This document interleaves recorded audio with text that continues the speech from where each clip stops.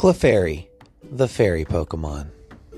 It is said that happiness will come to those who see a gathering of Clefairy under the full moon.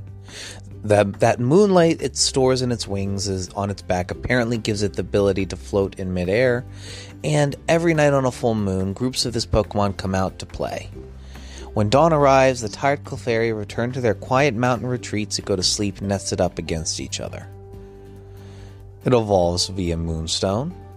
This fairy type Pokemon ha- is has a gender ratio of 25% male and 75% female. It has the abilities Cute Charm, which gives a uh, 30% chance to uh, attra- inflict an attract status when attacked. It has Magic Guard, which prevents all damage except from direct attack moves.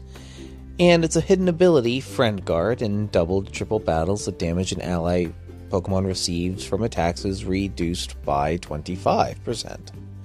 It has a stat spread of 323 with 70 HP, 45 attack, 48 defense, 60 special attack, 65 special defense, and 35 speed.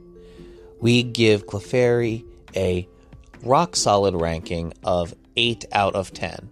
Absolutely, actually, no, 9 out of 10. Absolutely adorable. Would die for her. Or him.